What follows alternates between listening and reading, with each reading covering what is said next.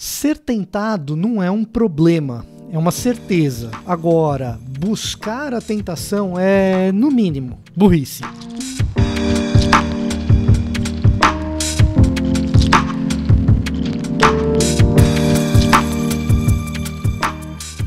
Olá, eu sou Victor Fontana, esse aqui é o meu canal, ele pode ser um pouco seu também, para isso basta que você se inscreva, deixe o seu like, seu comentário, ative as notificações. O que mais que você faz? Compartilhe esse vídeo se ele te ajudar e dá uma passadinha aqui na descrição, onde tem links para as minhas redes sociais, para o meu curso, meus cursos, tem mais de um aqui, e também para adquirir a sua Bíblia 365, que a gente faz reflexões aqui no canal, na medida do possível, todos os dias. Então, você pode fazer tudo isso quando você faz essas coisas, você se torna parte um pouco aqui do canal também, ele se torna um pouco propriedade sua mais ou menos como um livro. Quando eu escrevo um livro, o livro é meu.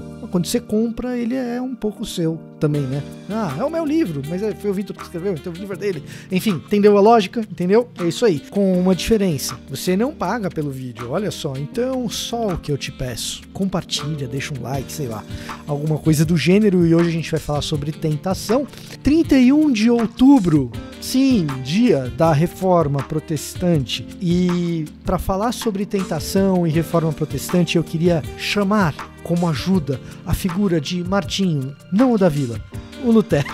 Sim, Martinho Lutero, ele fala uma coisa que é muito verdadeira sobre tentação. Ele diz o seguinte: que é inevitável que o pássaro voe. Você não consegue impedir o pássaro de voar, mas você consegue impedi-lo de montar um ninho na sua cabeça.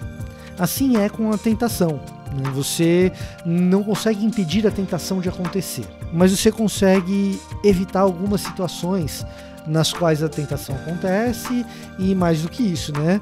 Você pode evitar que a tentação persista ali junto contigo. Mais ou menos essa é a ideia.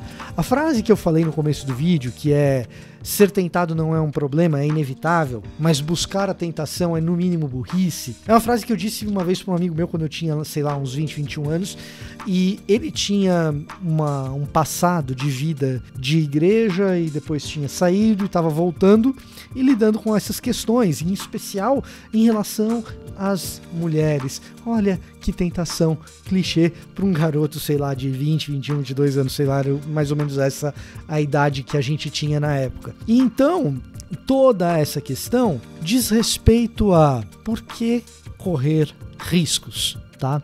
Por que correr riscos? E diz respeito também a legalismo, porque, infelizmente, a gente está vivendo um tempo não sei se já foi muito diferente em algum momento, no qual existe uma percepção de que a mera possibilidade de estar suscetível a ser tentado já é em si mesmo uma queda. Em si mesmo, né? Possibilidade em si mesmo. Em si mesmo é uma queda.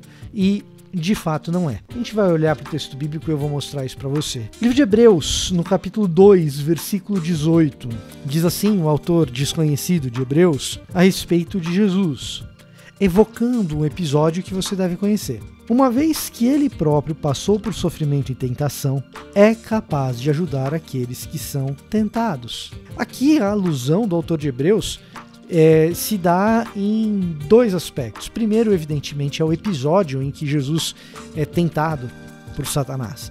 É, então, evidentemente, parece haver uma alusão a esse episódio específico. E uma outra alusão à oração dominical: não nos deixes cair em tentação, certo? O problema é cair, não é ser tentado. Quando você ora na oração dominical, a ideia é precisamente essa a ideia é precisamente essa. Eu tô com problemas de gênero aqui, hein? É, o pessoal da esquerda que me contaminou. Brincadeiras à parte. Brincadeiras à parte, concordância no português às vezes nos, nos prega peças. É, é precisamente comentando a o pedido de não nos deixar cair em tentação, que Lutero fala a tal da frase do pássaro, que é inevitável que o pássaro voe. Você não consegue impedir um pássaro de voar, você consegue impedi-lo de montar um ninho na sua cabeça quando ele vai comentar a, a oração do Senhor, a oração dominical, a oração que Jesus Cristo nos ensinou, o famoso Pai Nosso. É quando ele comenta isso que Lutero diz precisamente essa frase: é, você não impede o voo do pássaro, mas pode impedir que ele monte um ninho na nossa cabeça. E o fato é que Jesus pode nos ajudar nas nossas tentações, conhecendo de perto aquilo que é a tentação, porque ele próprio foi tentado. E portanto, se Jesus foi tentado, ser tentado não é o problema, o problema é ceder à tentação.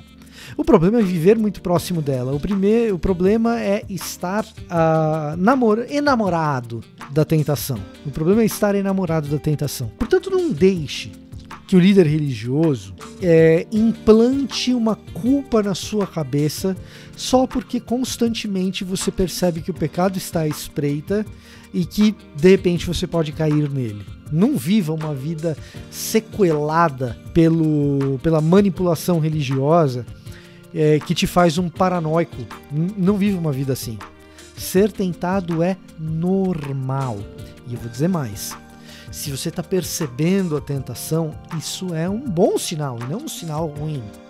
A pessoa que não percebe a tentação, ah, estou vivendo longe da tentação, nem estou sendo tentado, essa pessoa, na verdade, ela é a pessoa que já está tão imersa no pecado que a tentação aparece e ela nem percebe que existe. A percepção da tentação é, na verdade, uma coisa boa. Enquanto a tentação ela é de fato ruim e desagradável, existe um lado dessa coisa que é a percepção de que a tentação está acontecendo, que é uma coisa boa, é sinal que você está acordado, que você está de olhos abertos, que você ainda percebe aquilo que é mal.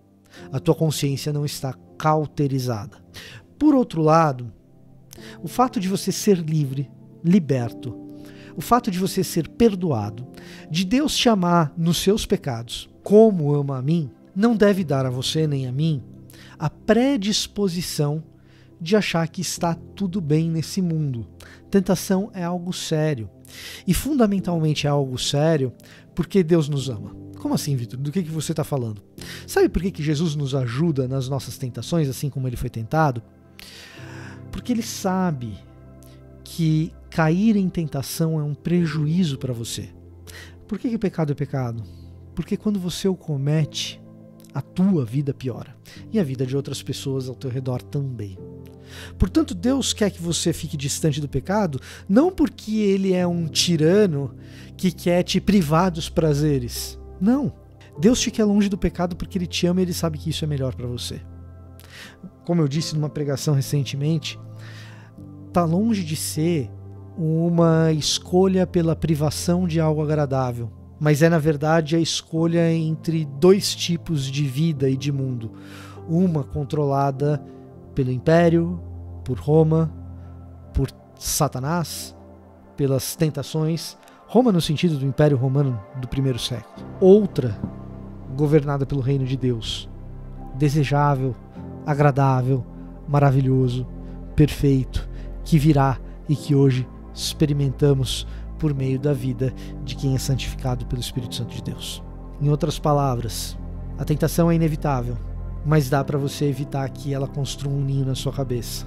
Se é inevitável, não se sinta culpado por ela e saiba que viver distante dela é algo maravilhoso, porque é o plano de um Deus amoroso para sua vida. Esse era o meu recado para hoje, no dia da reforma protestante, que nos dá testemunho de um Deus gracioso que escolheu nos amar, apesar dos nossos erros e das vezes que caímos em tentação.